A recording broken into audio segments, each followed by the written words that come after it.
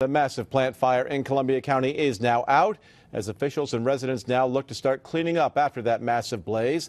The smoke and flames affected the entire area, forcing officials to keep people indoors and avoid the soot landing all around that part of the region. The all clear has now been sounded. People can go back out. We start our team coverage tonight with Chris Gloninger, who has been in Ghent pretty much all day long covering the plant inferno. Hi, Chris.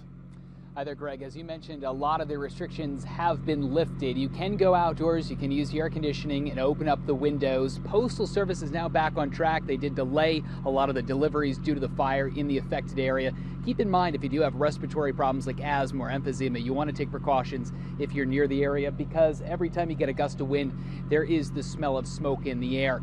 Uh, they also reopened Route 9H, and that allowed some of the homeowners back in. And we're with Dimitri Basikalis, who is one of those homeowners. And Dimitri, when you were here last night, when did you know something was wrong? Around 10:15, we heard the sirens. We're about ready to go to bed. I said to my wife, "Let me just check." Open up the curtains, and there it was TCI on fire. Just the black smoke was bellowing. So I said, "Let's go. Get dressed. We're going. We're leaving." Come out here. There's just black smoke rolling around the house. We took off with the car and went up, up to the back road, up Old Post Road, where we watched it and it would just there was several huge explosions a couple hundred 300 feet in the air just huge. I mean they're just massive. I mean just the, they rock the heat. You could feel the heat from just from putting your hand out the window you could feel the heat and the sparks. It was very tense. Uh, at this point you were allowed back home and you have a cleanup to do and, and kind of go over what we're looking at right now.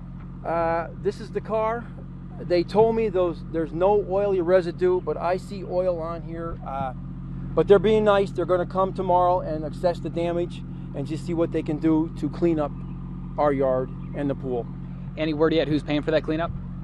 Uh, no, not yet. Not as of not of now. No, there is not.